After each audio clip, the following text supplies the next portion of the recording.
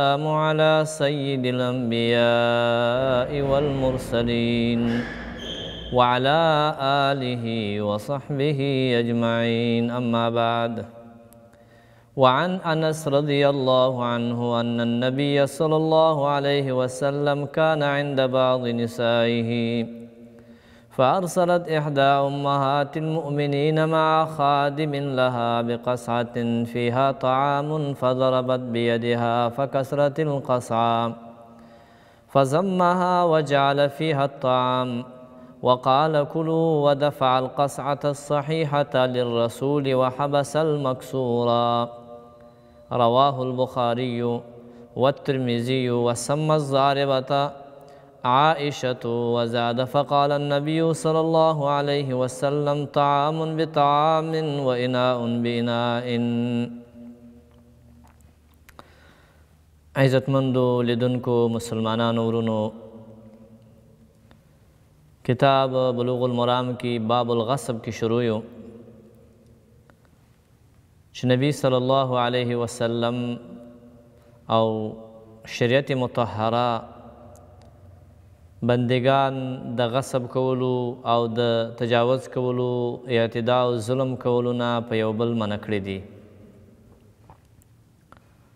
او فرمایلی دی چی ان دماءکم واموالکم علیکم حرام په مؤمن باندی د بل مؤمن وینه تویول او د بل مال لوټ کول غصب کول حرام دی ولا تاکلوا اموالکم بینکم بالباطل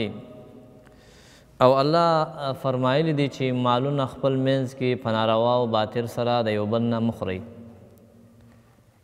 نو د چا نه مال په زور قبض کول، په ناحقه سره د پردي ملکیت باندې قبضه اچول دا حرام دي او حدیث شریف کې د دې قباحت ذکر شوی وو چې چا یو لوېشت ځمکه د یو مسلمان غصب کړه،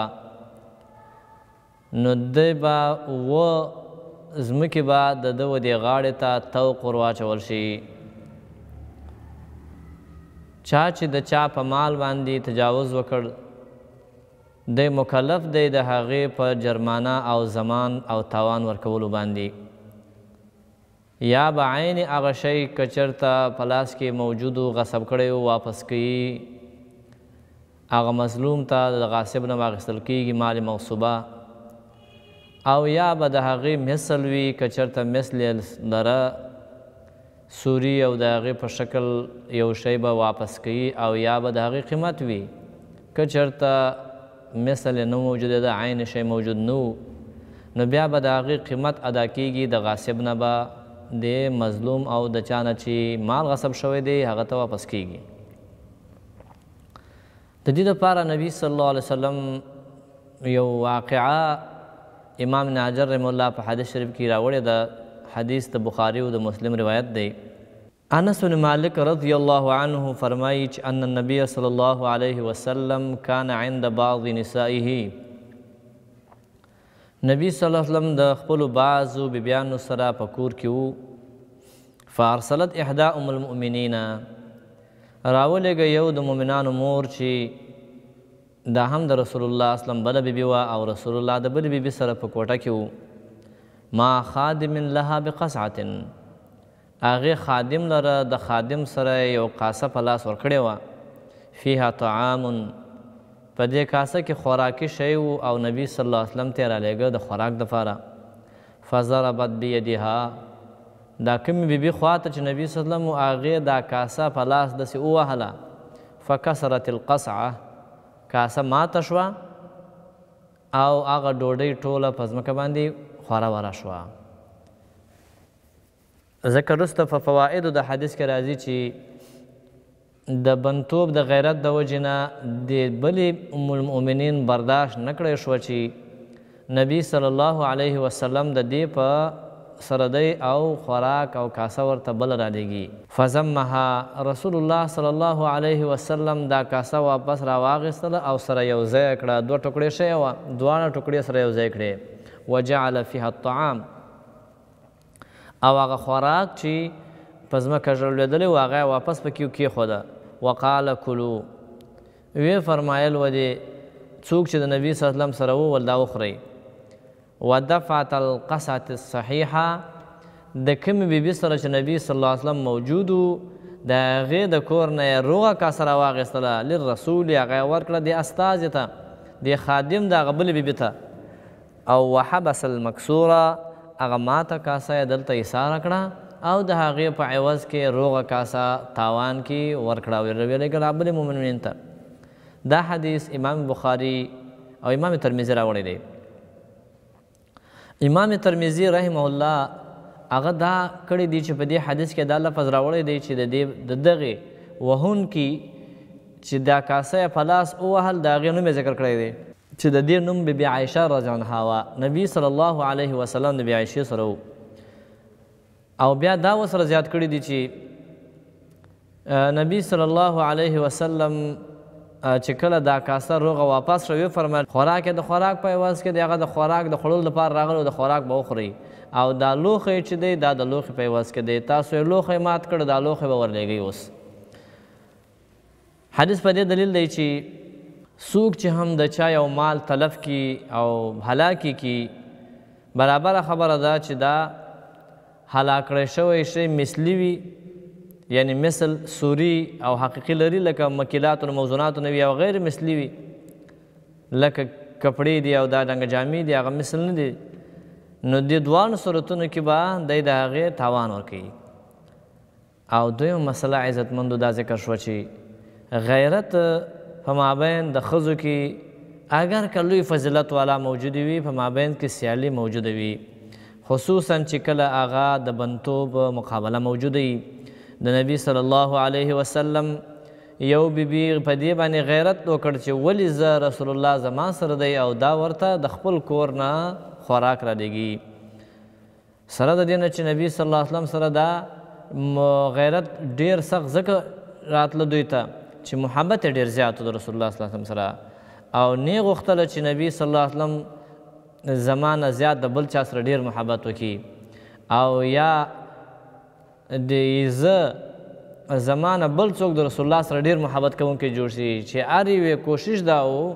او مې فکر یې دې طرف ته و چې زه د رسول الله سره د بل څه ډیر محبت وکم او ما سره رسول الله ډیر محبت وکي په دې حدیث کې عزتمند د نبی صلی الله علیه وسلم خیسته اخلاق چې هغه عفو کول دي صفحه کول دي اسانی کول دي د هغه چا سره چې د هغو نه خطا کېږي کوم چا چې کاسه ماته کړې وه ام المؤمنین عائشه رضی الله عنها نبی صلی الله علیه وسلم نه ورته څپېړه ورکړه نه کنزل ورته وکړه نه سخته خبره ورته وکړه صرف هغه کاسه په خپل لاس راواغستل دواړه طرفونه سره یو ځای کړه او ډوډۍ پکې واچول هغه دوی ته تسلیم کړه او د دې د کاسر د کور روغه کاسه واپس کړه دا د نبی صلی الله علیه وسلم هغه ښه عشرت او ښه زندګی تیرول دلیل دی د خپلو ازواجو مطهراتو سره. دلته اوس شیخ الاسلام ابن تیمیه رحمه الله وایی چی د مثل عوض ورکول یعنی یو څوک یو شی تاوان کی نفس عین هغه شی واپس کیدل نه وی د هغه مثل ورکوی دا د علماو په مابین کی ډیره کثیر الدوران مسله ده وایی لکه قیمت المثل راځي اجرت المثل راځي مهر مثل راځي داسې حدیث کې راځي من اعتق شرکا له من عبد قوم علی قیمت عدل لا وکس ولا شتتا چا چې دوه کسانو په مابینځ کې غلام شریک او یو خپل حصہ آزاد کړه نو په دې به قیمت لګي عادل انسان زیادت نقصان بنه کوي او بروا بنت واشق ته رسول الله فرمایلی لها مهر مثلها لا وکس ولا شتته نو دا د مثل الفاظ په شریعت کې رسول الله ډیر ذکر کړی دي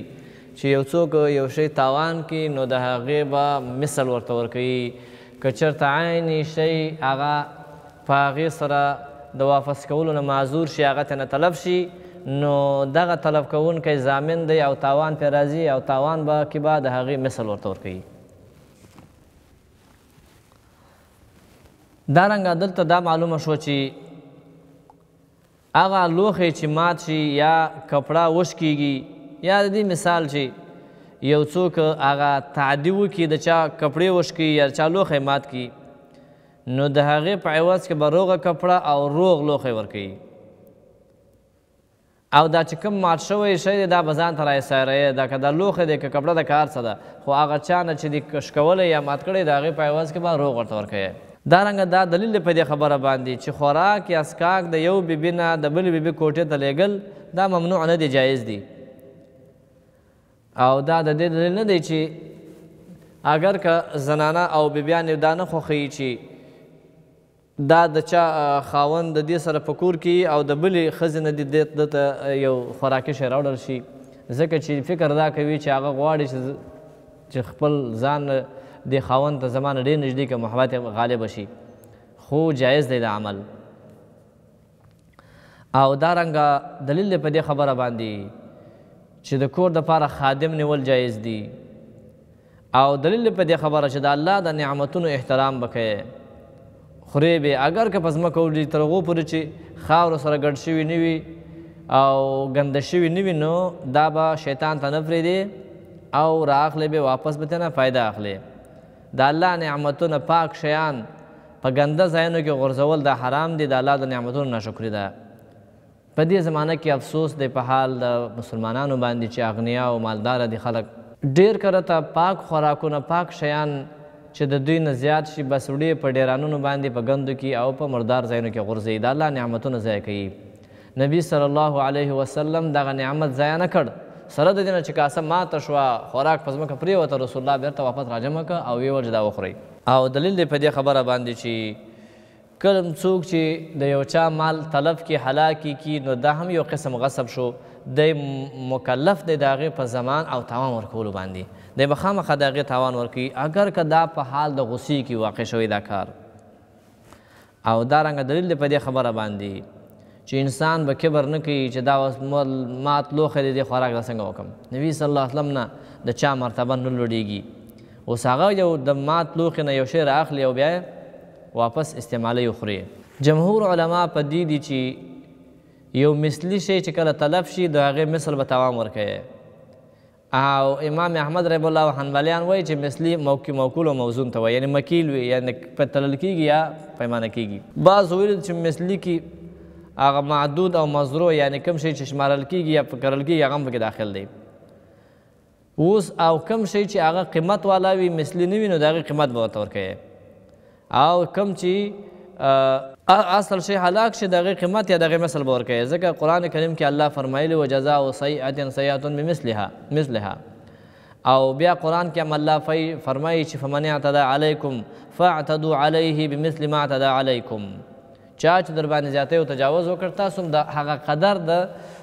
د تجاوز د هغه باندې د هغه په حق تجاوز کولای شي خپل انتقام او بدل اغشتلای شي د بدی سزا په بدی سره ورکولای شي کوم شي چې صاحب القیمت وي نو د هغه قیمت ورکول په تاوان کې ورکولای شي ځکه حدیث کې هم دا مخکې ذکر شو چې څوک د خپل حصہ مرای آزاد کی د مکلف دی په دې خبره چې د چا سره بمرای کې شریک وي د هغه برخه آزاد کی نو دا قیمت ولګي دغه قیمت به دی ورته ورکړي یو شی چې چا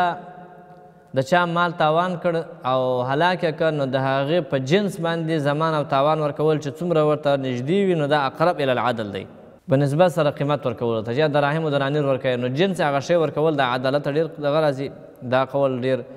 یعنې داسې فیصله قریب عدل ته ده چې یو په بل باندې بیا ګمان او دعوه د زیاتي او د نقصان هغه نشي کولای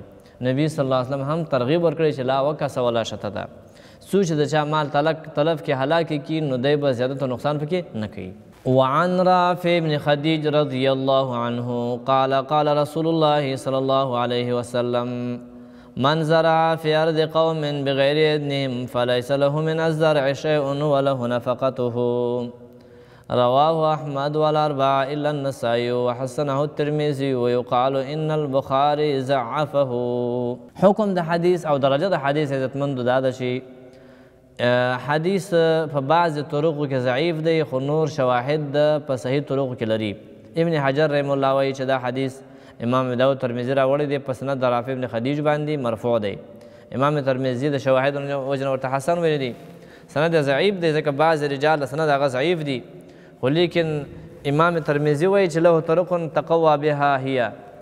یعنی دا داسې نور طرق لري چې دا حدیث پې قوي کېږي چې حسن به مجموع طرق ورته وایي یعنی دا ټول طرق چې را سره راجمع کړې نو حدیث درجه د قوت ته رسیږي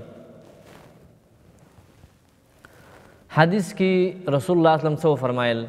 رافی ابن خدیج رضی الله تعالی عنه فرمای رسول الله صلی الله علیه وسلم فرمایلی دی من زرع فی ارض قوم من بغیر اذنهم چا چی فصل وکره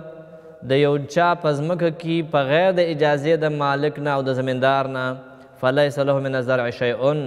د فصل پکې ستایز برخه نشته ځمکه د بل چا ده او هغه د ترې عزت نه دی کړی، ته رالې قولبه دې کړه، وا دې ړول، تخم او دانې دې پکې واچولې او هغه که فصل راوشین شو، اصلي مالک راغی، نو ستا پکې هیڅ په دې فصل کې څه نشته. وله نفقته، البته دغه سړي چې د چا په ځمکه کې په غیر د اجازت نه مصرف کړی دی، هغه مصرف چې په ځمکه کړی دی، نو هغه نفقه او مصرف به ورته واپس ادا کېږي. ده تخم کرلی دی هغه تخم یې تاوان دی ورکړي اصلي مالک کول بیه کړې ده سر یې وراچولی هر څه چې کړي دي هر خرچه چې په دې ځمکه باندې کړې ده